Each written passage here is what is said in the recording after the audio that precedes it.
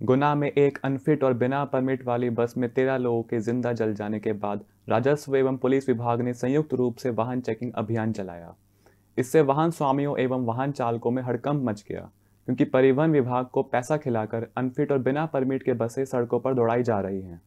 राजस्व, परिवहन एवं पुलिस विभाग ने संयुक्त रूप से वाहन चेकिंग अभियान चलाया तो वाहन स्वामियों और वाहन चालकों में हड़कंप मच गया। इस दौरान पुलिस ने एक दर्जन से अधिक वाहनों के विरुद्ध कार्रवाई की। इस दौरान पुलिस ने वाहन चालकों को हिदायत दी कि वह तेज गति से अपनी गाड़ियाँ ना चलाएँ और ना ही शराब पीकर वाहन चलाएँ। मध्य प्रदेश के गुना ज़िले में दर्दनाक बस हादसे के बाद मध्य प्रदेश के सीएम मोहन यादव ने एक फरमान जारी किया, जिसके बाद परिवहन, राजस्व एवं पुलिस विभाग हरकत में आया। देवास जिला पुलिस अधीक्षक संपत उपाध्याय डीएम ऋषभ गुप्ता एवं एडिशनल एसपी ग्रामीण आकाश भूरिया के निर्देशन में चेकिंग अभियान चलाया जा रहा है। इस दौरान एक दर्जन से अधिक वाहनों के खिलाफ चालानी कार्रवाई भी की गई।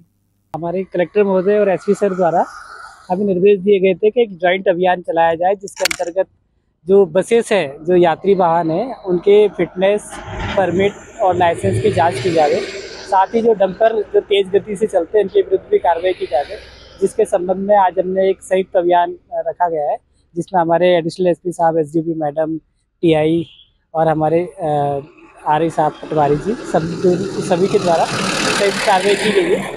इसमें आप देख ही रहे हैं अभी हमारे जो भी बाहर आ रहे हैं, सबके चालन काट रहे हैं हम लोग, जिनके, अगर जिनके ज़्यादा ओवरलोड है तो उनको हम थाने में भी गाड़ी खड़ी करवा रहे हैं। और ये कार्रवाई चल रही है, और अभी कंटिन्यू रहेगी पाँच दिन, अगले पाँच दिन तक कंटिन्यू रहेगी।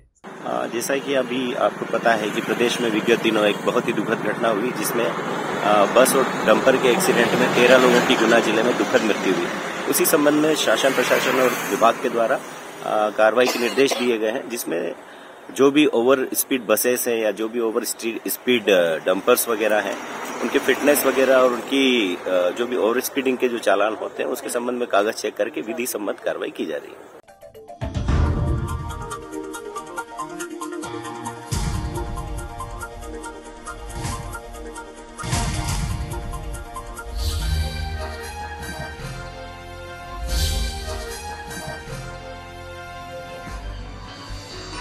आप देख रहे हैं दखल न्यूज़।